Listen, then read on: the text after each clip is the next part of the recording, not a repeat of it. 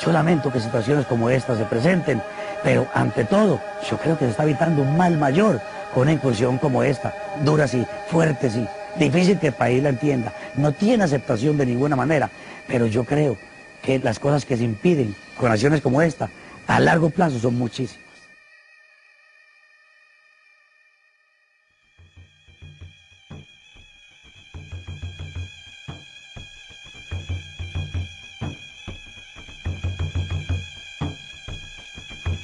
2000 fue un año contradictorio. Por un lado estaban terminando los diálogos de paz con las FARC y por el otro fue el año más crítico en la guerra de masacres que ha caracterizado el conflicto armado, con 260 matanzas y más de 1.500 víctimas. La zona conocida como Montes de María fue una de las regiones más afectadas ha sido un corredor estratégico para los grupos armados entre el Bajo Magdalena y la costa caribe. Macayepo, San Onofre, Chengue, Ovejas, El Salado. Un 21 de febrero, los noticieros anuncian otra más entre las tantas noticias trágicas que saturaban los medios. El Salado, un pueblo agrícola, queda en medio del fuego cruzado entre la guerrilla y los paramilitares. Pero pocos días después, el fiscal general de la Nación aclara que no hubo tal enfrentamiento y lo plantea como una masacre clásica de paramilitares. Me hablan de que entre ellas hay menores, hay ancianos. Todo eso me hace indicar que es cierta la presentación que ha hecho el CTI en la medida en que no se, en el sentido de que no se trató de un supuesto combate,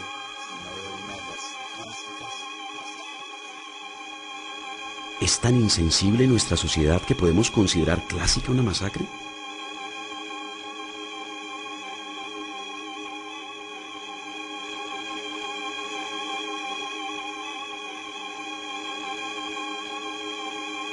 Entre el 16 y el 21 de febrero de 2000, 450 paramilitares entraron a las áreas rurales de Ovejas, El Salado y La Sierra, en los departamentos de Bolívar y Sucre.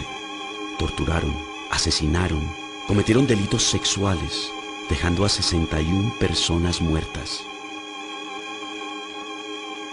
Antes, un pueblo próspero, tenía 7.000 habitantes y estaba a punto de ser declarado cabecera municipal. Luego de una primera masacre en 1997 regresaron 4.000 y hoy en día, luego de la masacre del 2000, solo habitan 750 personas que con fortaleza intentan reconstruir su vida.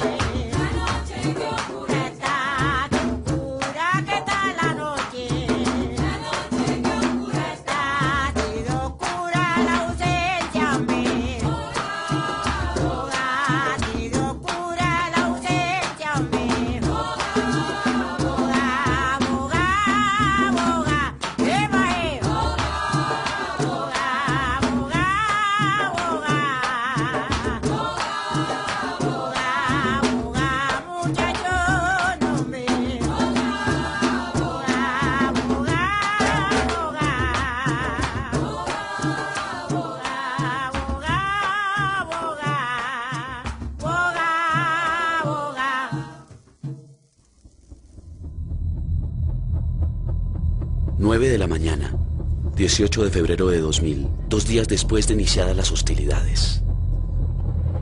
Un helicóptero artillado dispara a las casas desde el cielo, mientras 450 paramilitares pertenecientes al bloque norte de las Autodefensas Unidas de Colombia se toman la zona.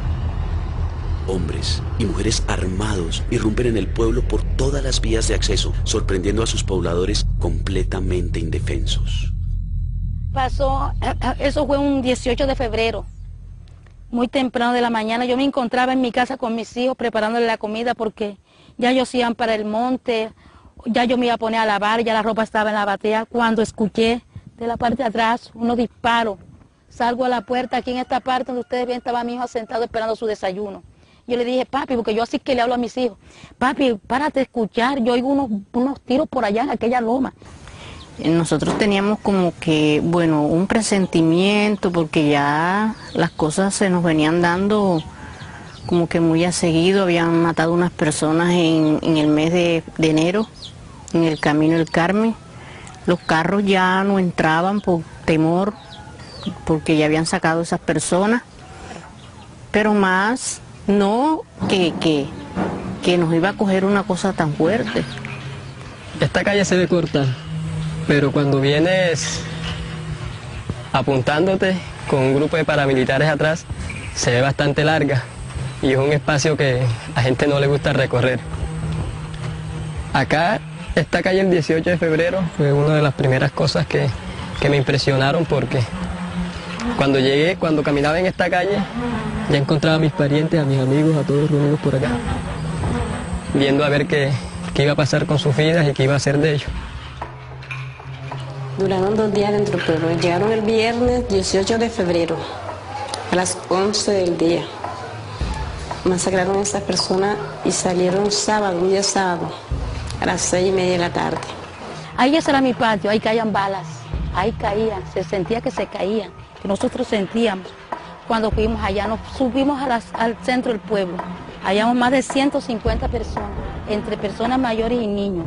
Entonces, en el momento que están sucediendo los hechos y, se oían ¿no? que vienen por el Camino del Carmen, que vienen por acá, que llegaron a Pativaca, que mataron gente, que mataron en, Flor de Monte, para nosotros eso era una preocupación y, nos veíamos como que muy en, en, un círculo cerrado, que veíamos que toda la posibilidad de la gente salir para otras partes, fuera de aquí, el Carmen, Canutalito, esos pueblos que era donde podíamos llegar, eh, se nos hace imposible.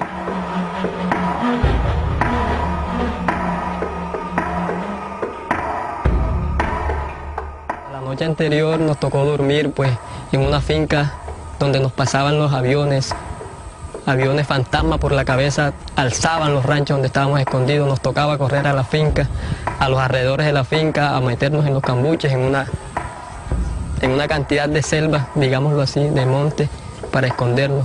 De repente cuando sentimos un helicóptero. El helicóptero no dejaba de dar vueltas por todo, todo, todas estas lomas. O sea, yo me asomaba a la puerta de la casa, abría la puerta en medio de la balacera. Ya se veía la cantidad de, de uniformes verdes de paramilitares, todos despiadados, tirando plomo contra el pueblo al que se cogieran. Él me dice, miércoles, me ha contestado mi hermano que también lo quitaron la vida. Comadre, esos son los, es el ejército. Porque usted vio anoche el avión fantasma que pasó y ese es que nos están protegiendo. ¿Oyó?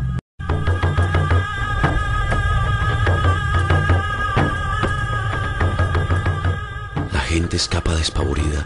Las familias quedan separadas. Desde sus escondites se escuchan gritos, insultos, disparos. ¿Acaso ese grito es el de mi primo? ¿Ese disparo habrá matado a mi hermano? ¿Mi madre está viva? De los 4.000 habitantes del pueblo, la mayoría logra escapar. Algunos de ellos quedan atrapados entre el monte, aislados, sin comida y con la incertidumbre por sus vidas y la de sus seres queridos. Yo cuando escuché tantas cosas, tantas versiones y, que ya habían asesinado a, a la señora Edith, yo le dije a mi esposo, bueno, la verdad es que yo me voy, ¿Para dónde? No sé, pero yo me voy de aquí. Yo me quedo aquí. Ya. Eso me puso muy angustiada. y tenía una hermana acá. Mi hermana me decía, si tú te vas, yo también me voy. Pero ella con el temor porque ya sus hijos se habían ido y ella no sabía para dónde. Esta, esta era la casa, esta era la casa donde nosotros nos metimos a refugiarnos, aquí en el señor Alfonso Medina, esta era la casa donde nosotros y pensemos de encontrar la, la salvación aquí, en esta parte. Entra mi esposo, todos mis hijos y mi hijo el muerto, entran aquí, a esta casa. Entramos y nos echamos para las piezas de atrás.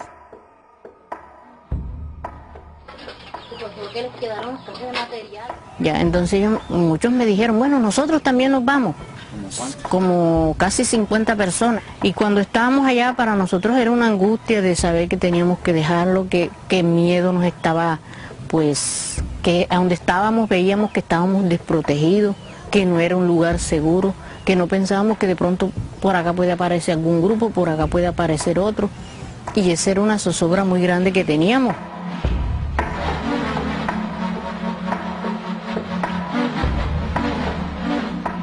Esos momentos se desató una balacera impresionante que yo estaba en la casa de la vecina, una casa que queda por allá. Y no logré salir. Cuando estaba ahí, habíamos, digamos, como 15 personas, 15 conocidos. Todos eran conocidos porque acá todos nos conocemos. Acá todos éramos allegados. ya para nosotros era la experiencia que ya habíamos vivido en el 97 y ya eso lo teníamos en la mente. Ya, aquí pasó algo y de pronto nos puede pasar algo otra vez.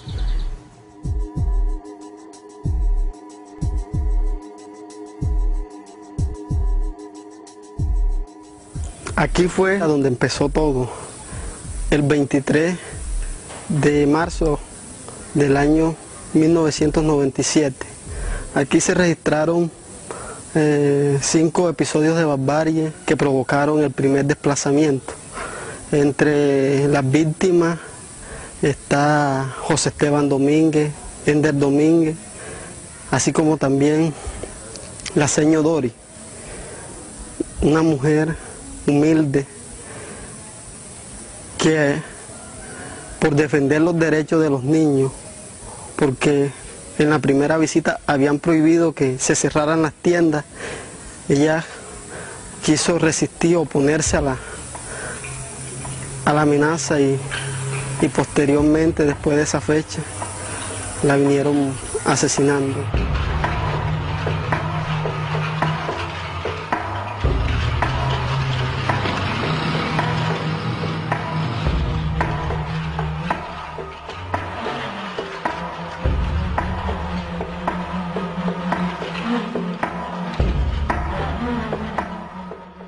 Ocurridos en el 2000, la peor parte ocurrió en la cancha.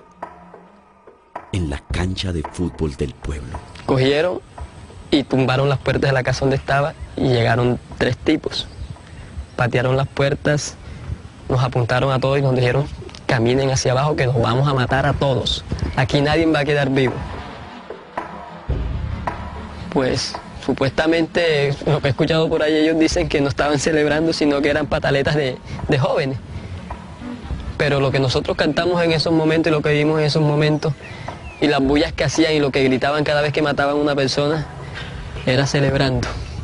Y a mí que ellos en ningún momento ni ningún jefe perro puta de eso me venga a decir que ellos no estaban celebrando por cada muerto que mataban acá, por cada señora que asesinaban acá o por cada hombre que asesinaron allá. Que no me venga a decir eso porque yo lo vi con mis propios ojos. Bueno, cuando llegamos acá, lo primero que hicieron fue dividir a las personas. Las mujeres las ubicaron acá, a todas, aquí en la iglesia.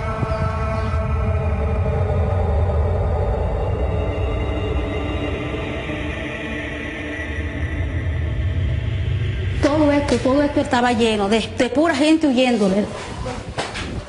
Esta era la parte donde estaba mi hijo agachadito, huyendo de los plomos. La puerta se abre porque ellos la patean y se abre. Cuando lo ven que está agachado, sin medir palabras, me lo disparan, me lo matan. Después los tiraron hacia acá. Después que le tiraron hacia los proyectiles, que aquí en esta parte aquí abajo, me lo, lo jalaron hacia acá y lo pusieron quietecito. Y recuerdo que mi hijo cuando se despidió de mí, me hizo así con su mano. Como quien dice, ya me voy de esta vida, madre.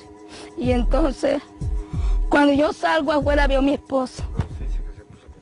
Sí, yo me puse como una leona. Yo, el hombre lo arrojuñé en la cara. Yo el hombre, porque yo ese hombre era un hombre alto moreno, de sombrero que le dicen sombrero chino. Yo lo arruñaba en la cara y le dice el otro, yo tengo una pistola aquí, la mato. Él le contesta el que mata a mi hijo, sí, sácala, la vamos a matar afuera. Cuando llegué lo primero que vi, esto estaba rodeado, todo, todo, por aquí, por allá, las, todas las salidas habían paramilitares, todas, todo estaba cundido paramilitares. No eran ni uno, ni dos, ni veinte, ni cuarenta, eran como 100 paramilitares que estaban aquí en este punto, aquí, aquí. Aquí habían dos sillas, donde estaban los mesías supuestamente. Juan David le decía, me mataste a mi hermano, dame un fusil, busca la guerrilla, que eso es lo que ustedes tienen que combatir, no a la gente civil. Denme un fusil, déselo a cada uno de aquí de los civiles, para que vean que nosotros nos vamos a defender. Yo lo que quiero es que no se metan con mi familia, porque ya me tenían los otros dos hijos acostados. Y Juan David le dijo, levántense de ahí, que ustedes no los van a matar, ni se dejen matar tampoco. Oye, mijo, eso es un héroe y todo el mundo lo vio aquí. Cuando mi hijo le decía, el pelado siendo de 11 años tenía Juan David de vida. Oye, Y cuando voy caminando ya venía por aquí así, cerquita. Ya me venía, venía por aquí así. Porque yo siempre he sido flaquito y parezco un niño, pero soy muy viejo. Ya venía por aquí y me dijo uno, ¿para dónde vas? Ya tú puedes con un fusil, tú eres guerrillero. Y yo le dije, si yo fuera guerrillero, te aseguro que aquí no estaría. Y él me dijo, tú eres muy alzaito, siéntate ahí que a todos los vamos a matar uno por uno así. Recuerdo que yo me senté aquí, aquí, precisamente me senté por este lado. Ahí. Ahí estaba sentado. Al tiempo que a mí me tenían aquí, esos perros y como yo les digo, caminaban todo el pueblo, pateaban todas las puertas, saqueaban todas las tiendas, se metían en todas las casas. Y como yo había dejado a mi papá y a mi mamá y a mi hermano dentro de la casa, la preocupación mía es dónde están ellos ya. Porque si están sacando a todas las personas de las casas, ¿dónde se encuentran ellos?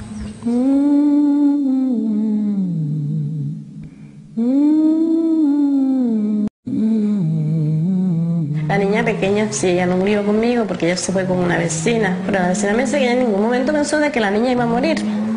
¿Por qué? Porque ella dice, yo pensaba de llegar a las viviendas donde hubiera más gente huyendo. Y en cambio la muchacha le oraba, Dios, Dios mío, no me la arrebate, no me la quite, que ella es mi compañerita quien me está cuidando. Entonces ella dice que volvió. De la primera convulsión que dio, ella volvió. A la segunda, sí. Cuando ella volvió, ella le dijo, abrázame, como me abrazaba mi mamá, que mi mamá me dormía abrazada. Y ella dice que ella la cogió se la dio en el pecho. Y ahí le volvió. En la noche, sábado como a las 7 de la noche. Y yo se lo sé el domingo como a estas horas, porque me lo dijo un soldado.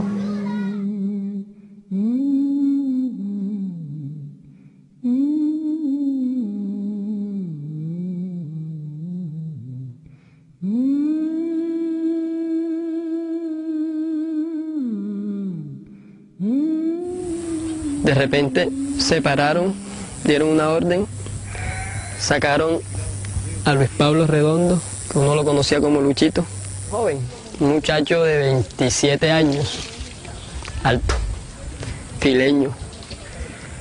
Era el, el ¿cómo le digo? El, el galán del pueblo, o sea, el muchacho que, que, que levantaba hembritas, que conseguía niñas. Era presidente de la Junta de Acción Comunal y a la vez era profesor. Y de una u otra manera lo- lo- lo- los jóvenes del pueblo se veían reflejados en él. Los muchachitos, los niños, cuando se veían reflejados en él, porque era, era el, el joven próspero, el joven que ya es profesor, el joven que es muy educado y el joven que a la vez es galán y tiene novia ya. Lo arrodillaron acá, aquí, precisamente. Aquí. Aquí. Yo estaba como por aquí. Como por aquí. O sea que estaba, él está, yo estaba a la espalda de él. Y hubo uno que dijeron, mochémosle la cabeza.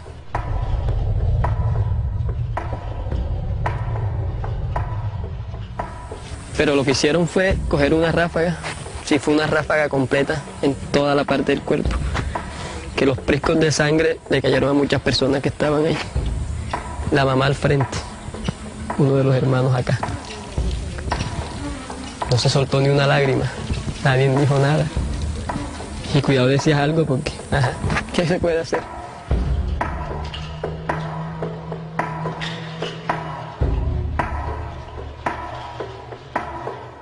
Y cuando nosotros supimos la noticia, porque hubo un muchacho que pudo entrar y salir y compartir con todo lo que había sucedido, ya cuántos habían matado, y estando la pelea ahí nosotros no nos atrevíamos a decirle a ella, mataron a tu hermano y mataron a tu, a tu mamá, porque nosotros sabíamos que era una víctima más que íbamos a poner. Ya, porque si nosotros le decíamos a ella, ella se venía, porque era su mamá y su hermano.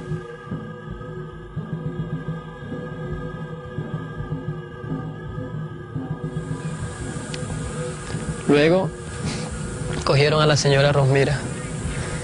Cuando cogieron a la señora Rosmira, yo dije, pero si ya cogieron a Luchito, ¿por qué van a coger a la señora Rosmira, que es la mamá?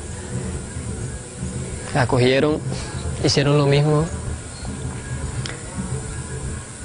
que con los muchachos que escogieron al azar, la ahorcaron con las cabullas. Era una mujer y necesitaron dos tipos de cada lado para ahorcarla. También se ponía las manos acá. Una señora que era la señora más fresca de este mundo. Le preguntaban algo, ay sí, vivo ahí. Aparte de eso era cristiana y las dos hijas de ella eran cristianas, le había infundido crianza a su hija cristiana. Y aparte tenía un hogar de bienestar familiar. Criaba niños, o sea, cuidaba niños. La pregunta es cuando se hace qué tanto, qué tanto espacio le va a dar una persona de esa valle, que sea guerrillera.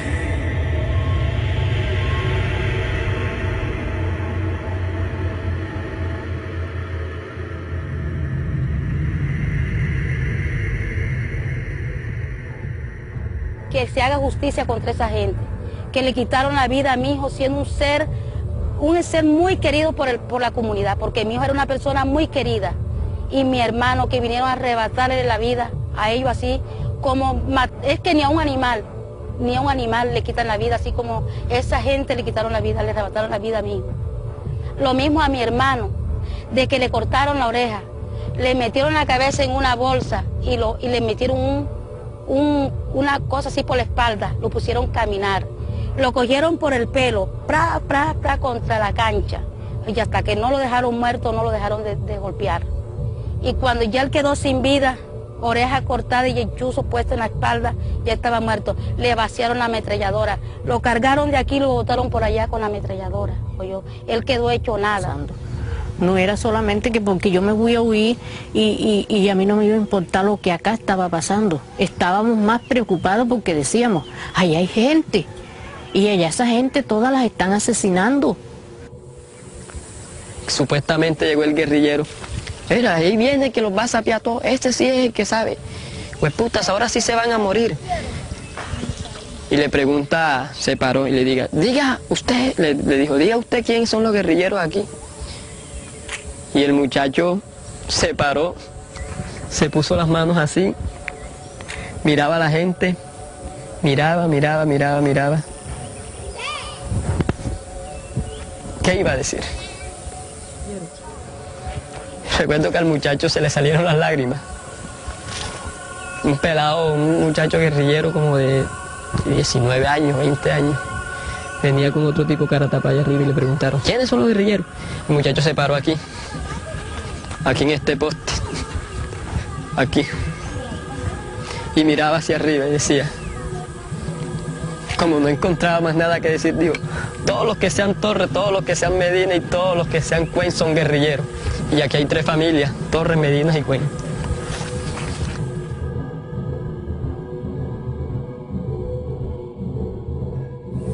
Cogieron a un señor, a un señor que se llama Víctor Uruetas, aquí, por aquí. El señor estaba, digamos, como aquí. Lo traían de allá de su casa porque tenía una casita de aquel lado, un ranchito. Ranchito de aquel lado de, de la iglesia, donde él vivía solo. Porque el señor era un señor que tenía problemas mentales, él no era, él no era muy, muy cuerdo que digamos. Lo trajeron amarrado. Era un señor que comía iguana, que hacía sus cultivitos por ahí. Y él como no hablaba con nadie, el único gesto que hacía era "Ujú, ujú". Lo cogieron y lo mataron. Fíjense con la infamia que actúan estos hombres que no comen, no, no se dieron cuenta siquiera que pues que este era un, un hombre que, que, que estaba en sus cabales, que, que era un hombre que razonaba correctamente, sino que simple y llanamente le hicieron una pregunta, como no le respondió, lo mataron.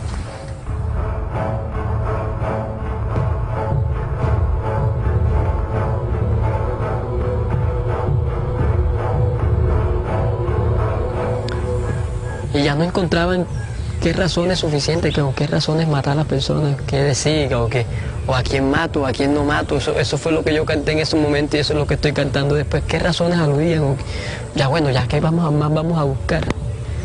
Listo, matamos a él, lo matamos a él, pero tenemos que seguir matando para unos resultados. Comenzaron al sorteo. Uno, dos, tres, cuatro, cinco, seis. Hay varias versiones, que, una que dicen que era el número 21. Yo soy de esos que digo que era el número 21. Pero como ellos decían, contaban muy despacio. No sabía, no sabía cu- cuál es realmente el número del sorteo. Simplemente era decir, ven tú, que a ti te cayó el número. Ven tú, que a ti te cayó el número. El último del sorteo fue el señor Hermídez. Ya habían sacado dos muchachos más acá en el sorteo. ¿Y sabes quién mató al señor Hermídez? Lo mató el muchachito que dijo, yo quiero matar. Le dijo uno de los que estaban sentados ahí, saca ese y mátalo. Estaban los dos hijos, uno sentado y el otro acá. Qué suerte la que me tocó a mí, que yo de este lado tenía el señor E- Emiro y de este lado tenía el señor Hermídez.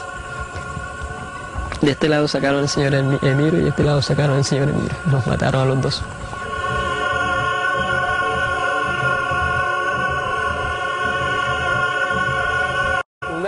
Que me pareció impresionante de todo fue cuando sacaron al disjunto Enriquito de allá, de aquel lado y lo mataron aquí. El disjunto Enriquito cuando iba saliendo, cuando lo iban a matar, se acercó donde estaba la mujer que estaba allá, la esposa, la señora Gil, le dijo, se acercó por estos laditos aquí así y le gritó, bueno Gil, será hasta nunca. Y aquí le pegaron un tiro.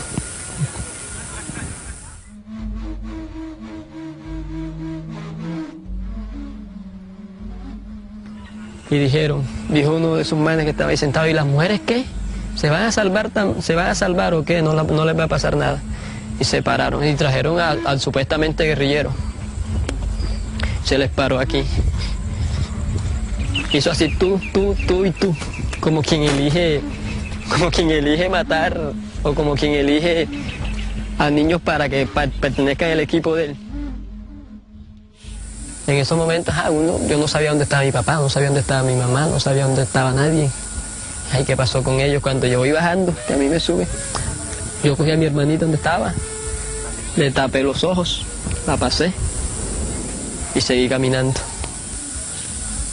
Al día siguiente yo me acordé, yo, "Ay, yo tengo unos gallos finos en la casa. Ahí me gustaban los gallos finos y tenía un gallito que había peleado y estaba, había ganado, pero había quedado todo herido ya. Y lo tenía más rollo y dije, voy a buscar a mi gallo.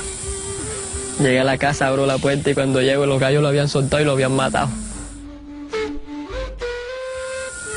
Dijeron, ya nos vamos. Salieron por ahí. Cuando salieron por ahí, a los cinco minutos venían entrando los infantes de Marina.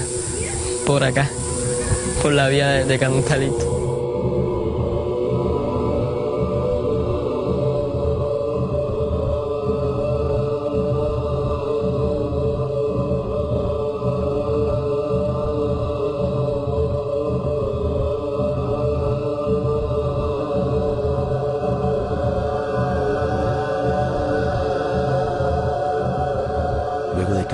Días la masacre había terminado, pero el peligro estaba presente y el drama apenas empezaba para los sobrevivientes y sus familiares.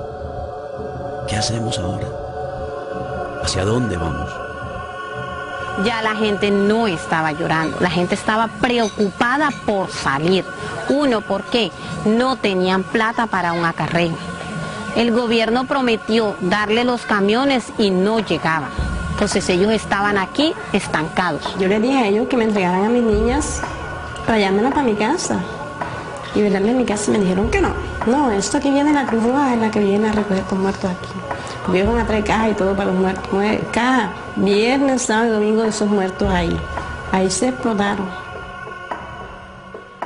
Ya yo vengo porque el ejército que da permiso para que saliera la gente a ver sus familiares y ya de aquí ya pasado gente por allá. Por eso vengo yo. Más atrás de mí se viene el pelado en una cicla. Pero yo no sé si él viene para acá, porque yo lo veo allá cuando lo habitaba. Cuando llego allá, me dice la hija, ay, Euclide, ¿dónde quedó? Y Euclide. Yo no dejé Euclide aquí, no, si él fue más atrás en la cicla. Y así fue, los que se fueron y ellos se los encontraron, los asesinaron.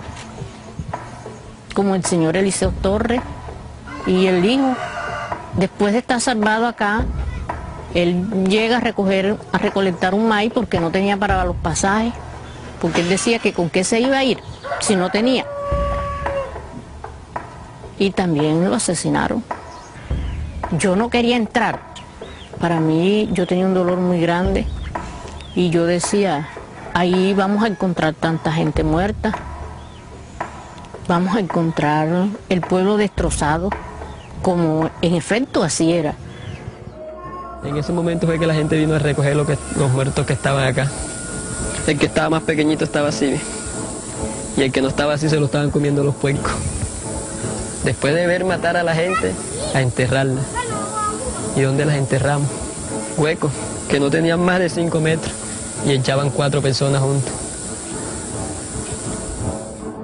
Aquí daba pavor, daba miedo uno estar aquí, principalmente la cancha poco sangre que había y la iglesia, la hediondez que había, no, no se lo aguantaba. Sacar a la familia, muchas personas se fueron a pie, dejaron las cosas aquí, hasta que pudieron que ya el gobierno les dio unos camiones para sacar, pero ya fue muy tarde porque ya ellos, uno no puede esperar, uno quiere conseguir como sea para poder salir y tener su familia a salvo. Mire, yo cuando entro en la calle y veo la gente, yo miro así para acá y miro así hacia acá y miro hacia allá y yo veo la gente tirada en esos andenes, ya. La gente tirada en los andenes. Aquí nos mataron a todos, porque aquí nos quitaron todo lo que teníamos. Entonces él me dijo, ¿cómo se llama su hijo y cómo venía vestido su hijo? Digo, no sé. No, porque en el arroyo hay un muerto trae un jean azul, la barca negra y una camiseta de jugar fútbol. Ya de que me dijo eso, digo, en ese es el hijo mío. Cuando ya vi que no había la ayuda, yo arranqué solo porque ni los unos cuantos que habíamos aquí del pueblo no, se atrevían. Yo dije, continuamos, seremos dos los muertos padre hijo. Pero yo lo voy a recoger. Habían, yo pongo que habían con más de, 50, de 60 personas de aquí del pueblo, eh, que en ese afán de estar huyendo, de salirse en esos momentos, fueron a tener allá. Y usted sabe lo triste y lo traumático que es que a ti te pregunten qué pasó. Donde ahí está el hermano del que mataron, el, la mamá del que mataron, el hijo del que mataron, el primo del que mataron. Y decirle a todas las personas, no, mataron a tu tío, mataron a no sé quiéncito, mataron a no sé quiéncito, mataron a no sé quiéncito. Cuando ya uno no, no, no ve ni nada de eso, se preocupa mucho por la familia, que si está bien, si no está. Y como acá todo el comentario era que mi familia toda la habían matado, era peor. Y no había minas, porque por ahí entraron los paramilitares y por ahí salieron. Por ahí entraron los infantes de Marina y por ahí salieron los sobrevivientes del Salado, huyendo.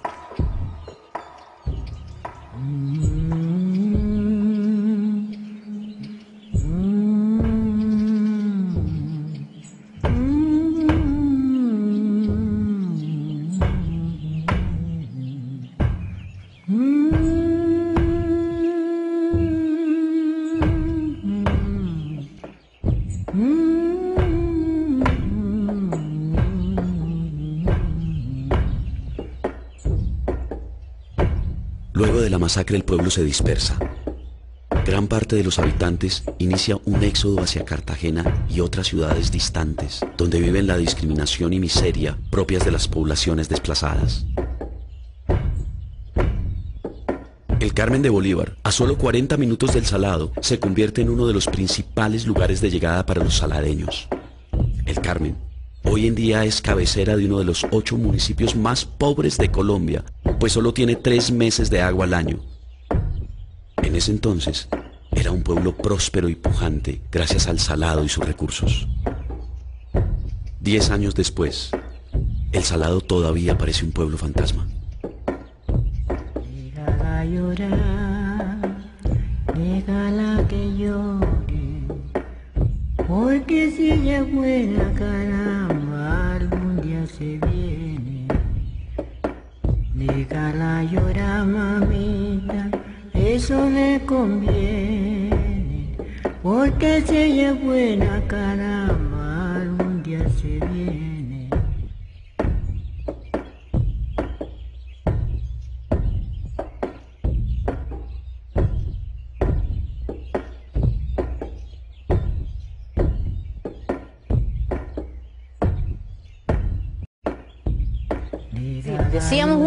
¿será que yo retorno? ¿Será que, que yo vuelva a tener confianza? ¿Será que yo pueda dormir allá en ese pueblo? Porque habíamos muchos que nos preguntábamos eso. ¿Será que yo seré capaz de estar allá? ¿Será que no irá a pasar más lo que pasó? Los primeros habitantes que deciden regresar prácticamente no reconocen su propio pueblo. En noviembre de 2001, un grupo de hombres acompañados por dos mujeres retornan con el propósito de hacer habitable nuevamente el pueblo.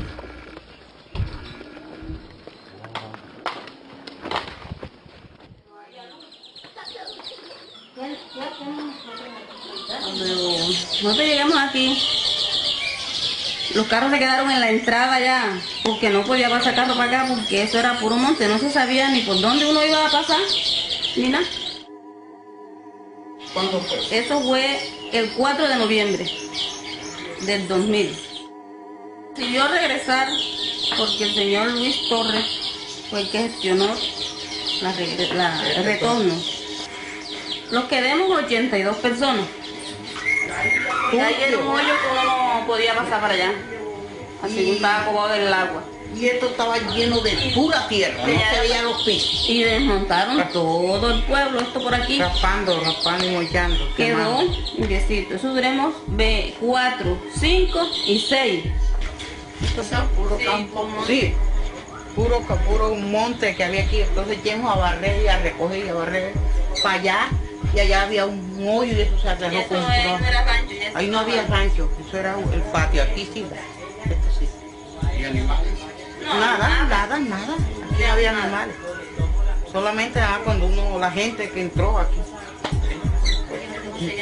Aquí no se conseguía nada. Ni un caldero, nada, nada, nada más que la casa sola y. Nosotros porque traíamos, traíamos hamaca y, y eso de dormir. Y en el piso y unas colchonetas que metimos para allá. Pero aquí no teníamos nada. En junio sí se fueron llegando la gente, ya fueron cogiendo las casas, los que tenían sus casas. Entonces cada uno iba cogiendo su casa y, no, pues si aquí hay esta gente se han aguantado todo este, las redes y las maduras, pues vamos a aguantar nosotros. ¿eh? Entonces ahí comenzó el retorno del sábado de ahí del 20 de febrero, así que fue- Pero vea que eso, eso aquí fue grave, Fue duro. grande. Eso para uno fue grande. Duro. Porque uno regresa sin tener ni nada, porque uno no tenía nada. Para regresar aquí eso fue duro. ¿eh? Porque- Y aquí todavía Fue para- es- y hay gente que no han venido aquí al salón nunca por miedo. Con miedo. Y tienen casa. Había una absoluta carencia del apoyo estatal. Los habitantes tuvieron que inventarse nuevas formas para reconstruir su pueblo. Por ejemplo, esta mujer tenía solo 10 años cuando fundó su escuela. Entonces mi mamá fue una de las primeras que dijo que sí, que sí se iba porque la verdad es que se sentía muy incómodo estar en el Carmen. Entonces cuando ya nos regresamos para acá, habían algunas como cinco, cinco o seis familias que habían aquí. Eh, llegamos a la casa que está enfrente, de ahí no salíamos para ningún lado. Yo no salía para ningún lado, todo el día metía en una hamaca viendo televisión hasta la noche que ya me cambiaba para la cama a dormir. O sea, me sentía como que muy triste, me asomaba a la puerta y no había nadie, se veía todo solo. y también me recordaba que, que antes el salado estaba lleno de vida, que se veían varias personas por la calle, pero no, no había nadie. Seguían viniendo y vinieron, vinieron 37.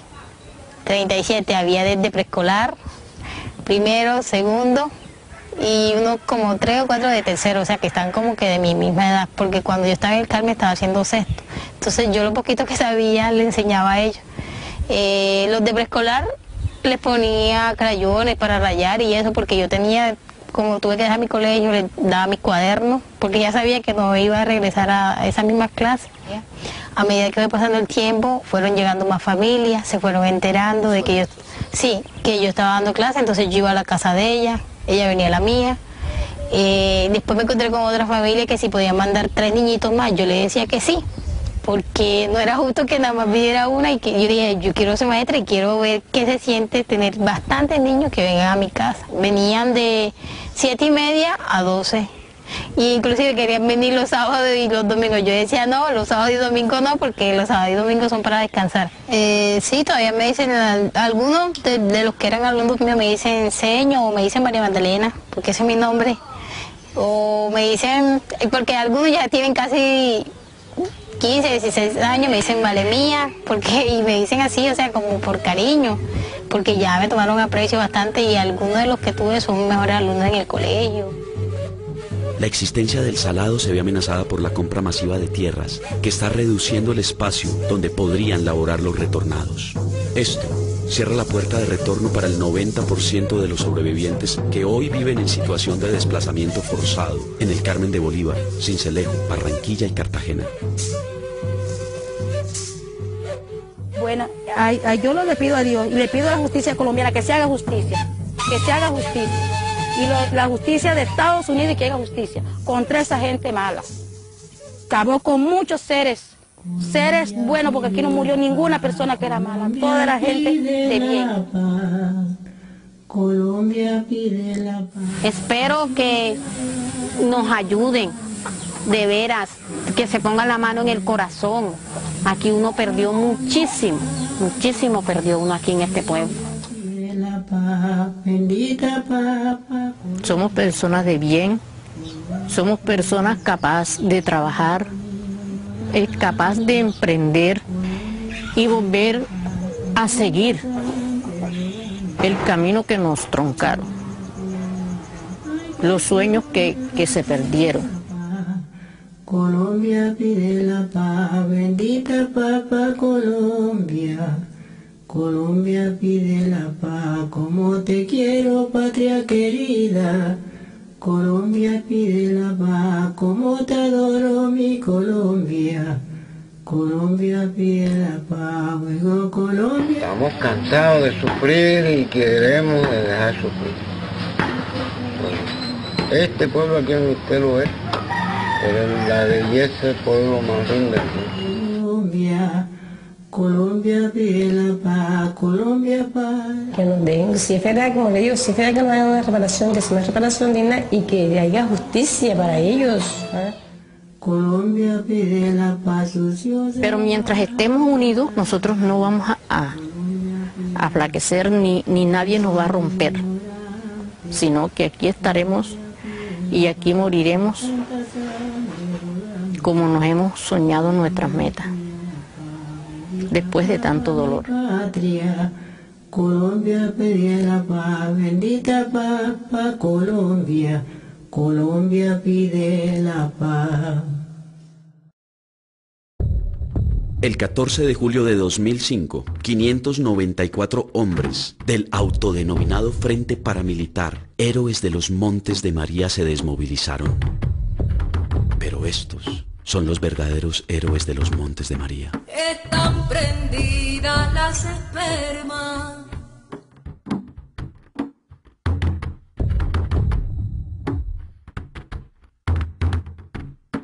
Cuatro estrellas temblorosas que alumbran su sonrisa muerta.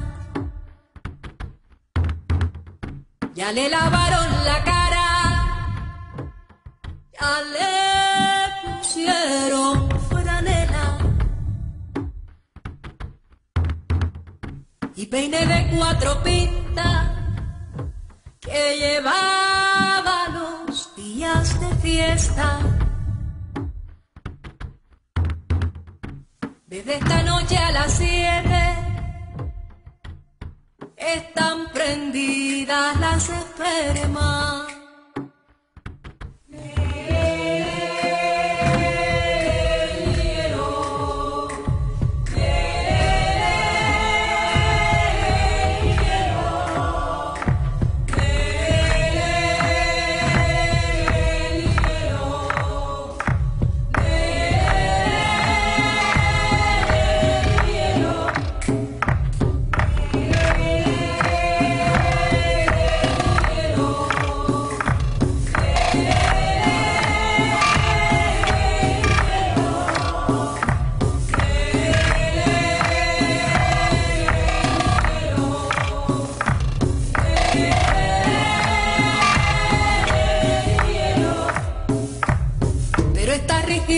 You.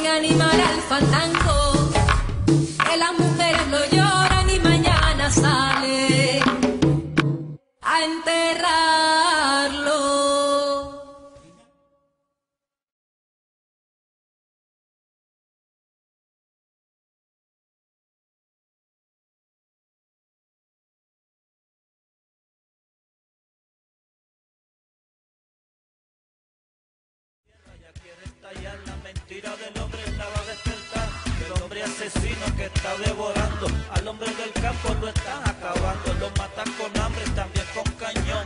No hay quien los pare, Ay, no ¿por veo la gente se fue de aquí? Los que quedaron vivos. Se fueron de aquí porque, porque hubo esa masacre en primera. Bueno, ya al este, en 1997 hicieron el primera masacre que fue más, el más malo de. Hubo una masacre. Mataron mucha gente. Collaron a la gente, la sacaban de la casa, la macheteaban. La macheteaban, la disparaban. Nunca lo contado más. ¿Qué contado? este, se murió un tío mío, una abuela. Un abuelo mío se murió. Una abuela.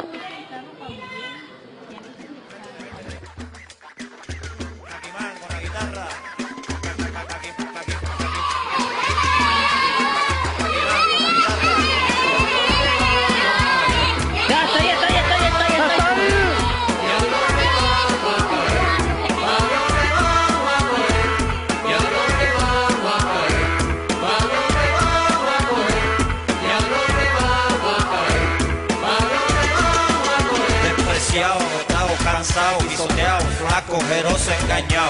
Así vivo ahora maltratado, en esta selva de concreto donde soy ilusiones sembrado. Pero siempre es inútil, mis gritos son mudos, el hombre me engaña, me mata y se esconde. El hombre asesino que está devorando, al hombre del campo estás acabando.